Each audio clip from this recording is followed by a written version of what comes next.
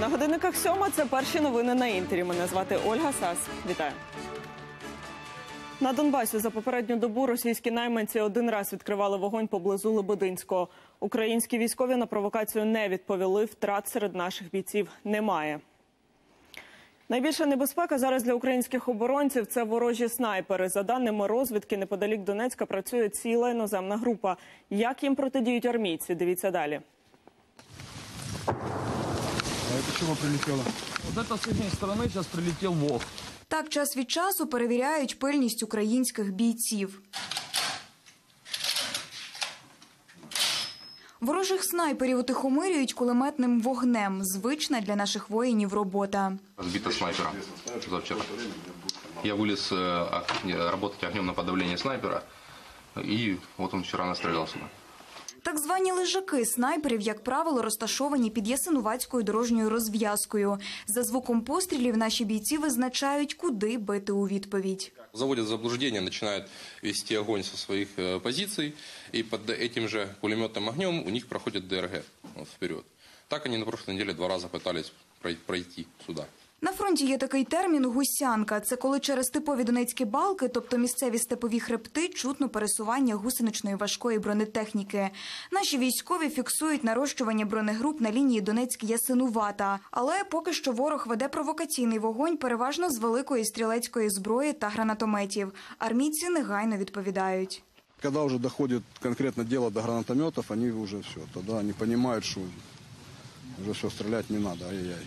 Пересуватися на передових позиціях під окупованою Ясинуватою вкрай небезпечно. Під ногами часто нерозірвані міни, а ще ділянки прострілу ворожих снайперів.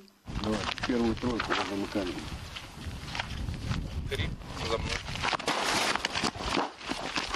Тут бежим. Ты разворачиваешься и бежим. Вперед, вперед, вперед, вперед. Іванна Ілліна, Геннадій Вівденко, Даніель Косаковський та Анатолій Воробей. Новини телеканал Інтер з Донецької області. У Харкові напередодні ввечері водій мікроавтобуса збив семирічну дитину. Від травм дівчинка загинула. Наразі поліція встановлює всі обставини ДТП. Вирішується питання про відкриття кримінального провадження. І ще одна людина загинула та двоє травмовані внаслідок ДТП у Харківській області. Аварія сталася біля села Безлюдівка. Водій вантажівки збив групу велосипедистів. Загинула жінка. Ще двох 16-річних хлопців доправили до лікарні з ранами та забоями. Працівники поліції встановлюють усі обставини пригоди. 10 кілограмів марихуани виявили поліцейські в жительки Вінничини. У жінки біля хати була ціла плантація конопель. Правоохоронці нарахували понад тисячу кущів заввишки з людський зріст. А в помешканні знайшли вже готове зілля, а також ваги та пакетики для фасування. Господиня стверджує, з трави збиралася робити креми для обличчя. Тепер жінці загрожує до 10 років за ґратами. Лучани намагаються врятувати місцеву річку Стир від забруднення. Активісти очистили кілька десятків кілометрів водойми. Результат бачили наші кореспонденти. Доки одні учасники екосплаву монтують байдарки, інші взялися прибирати узбережжя. в радіусі 20-30 метрів від місця, де ми починаємо сплав, ми вже назбирали за буквально 10-15 хвилин е, вже е, три повні мішка сміття. Там різний пластик, скло дуже багато, там скла з-під алкоголю, е, пакетів, пакетів і тому подібне. Інформацію про екоакцію розмістили в соцмережах. Відгукнулися майже два десятки містян. Цього року насправді людей е, більше охочих е, долучитися до цієї ініціативи екосплаву. Минулого року ми не робили анонсу, тобто ми е, зголошували лише своїх знайомих. Та цього року ми зробили анонс і буквально миттєво люди зголосилися. Юрій, переселенець із Криму на Волині, живе віднедавна. У байдарку сідає вдруге. Каже, хоче поєднати приємне з корисним Нормальный человек, в моем понимании, он никогда не будет в в себя гадить, потому что ну, жить в свинарнике, наверное, это не самое лучшее занятие в этой жизни. Вот, поэтому эти люди, которые это все это убирают после кого-то, вот, безусловно, они молодцы, волонтеры. Одягти рятувальні жилети і пройти інструктаж – обов'язкові правила перед сплавом. працювати разом в команді. Ззаді сидить старший, досвідченіший або чоловік, тому що чоловік є сильніший, як не крути. Пластикові та скляні пляшки, поліетиленові пакети – усе це нагромаджується у заростях уздовж берега. Активісти метр за метром визбирують сміття. На маршруті учасників екосплаву чекав сюрприз. Місцевий рибалка Петро, дізнавшись про акцію, вирішив підтримати активістів з берега. Щоб вам веселіше було, що ж тут? Ну? Так, кому квасу?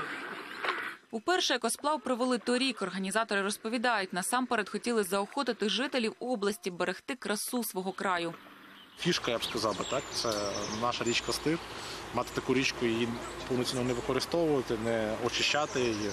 Ну, я думаю, це для нас ганьба для всіх разом, для лучан.